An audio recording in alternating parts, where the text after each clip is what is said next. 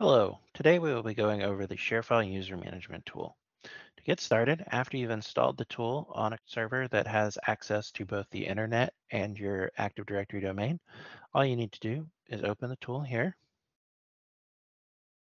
You will be prompted to sign into your ShareFile account, so you'll enter your subdomain at the top, then followed with your email, and then finally your password, and then choose Login.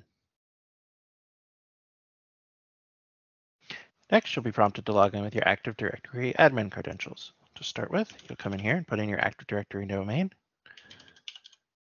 followed by your username and your password, and then you'll click Connect. As you can see here, we're brought to the home page. It'll give you some suggestions on whether you want to create users or groups. It also lists your subdomain for a share file as well as your Active Directory domain. We don't have any rules yet, so we'll come over here to search.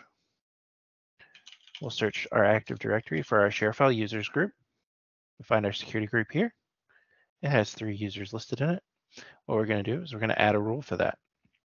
You'll see three options here. You'll see the option to create a user rule, which will give them uh, create the users and give them permissions. You can also create a group rule, which will apply their uh, folder permissions. And then you can do a user and group rule at the same time. So we're going to do the combined option here. So first off, we're doing the user rule. So we'll come in here to user access. We're going to assign it the test demo group with the demo test file and folder management options. And then for storage location, we'll leave it on the default. You can also set this to storage zones uh, around the world for the cloud, or if you have various on-prem zones, you can set those up as well. We're going to leave all these checked. If you'd like to change the company name here, you can do that. You can also notify users when they're added to the account. To leave that as is, hit next. This is the distribution group rule option. We'll leave both of these options checked to create the group and keep it updated. And then we'll hit save. All right, as we can see here now, if we come over to rules, we have both a user rule and a group rule. So we can do a refresh here. And we can see our actions. It's going to update this ShareFile users group. It's also going to create all three users. So we'll go ahead and now we can click commit now.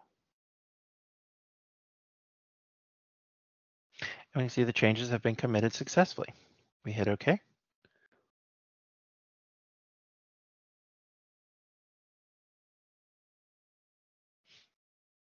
All right, and if we look down here, we can see our attempt. No errors were found. It created three users.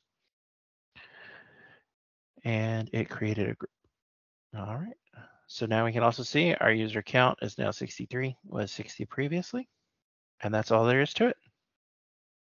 Uh, you can also come in here to rules if you'd like and schedule this. Um, once you've scheduled a job, it'll run in Windows Task Scheduler and you can set that for a variety of options. And then the groups will keep updated. So if you add new users, they'll get added to ShareFile automatically and given access to the files and folders assigned to their group. All right. Thank you very much.